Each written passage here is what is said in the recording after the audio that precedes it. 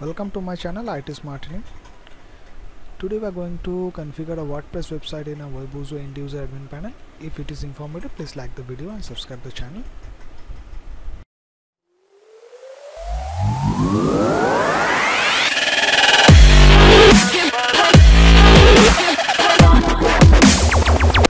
Don't forget to press the bell icon to get more up to date. Let's start the lab.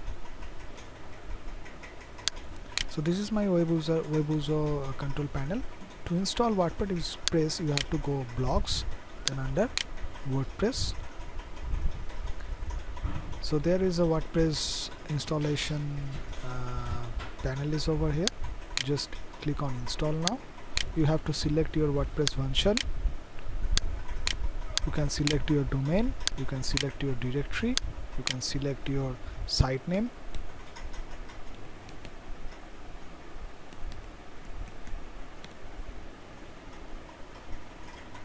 you can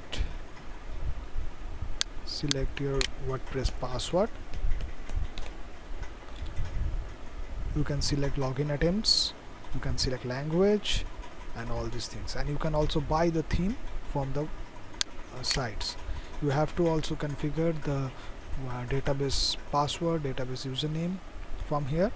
But the main thing is that Webuzo free user account cannot allow you to install WordPress here is uh, showing you the uh, notifications.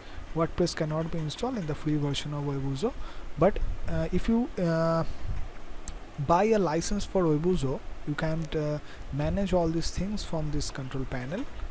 So after the buying license you just go the WordPress and follow these steps and press install and the WordPress site will automatically install. But now it is showing an error. This is not a licensed versions so you can see that there is going error. Okay so to do this you have to buy license from Webuzo. Okay. So if you like my videos please subscribe my channel. Thank you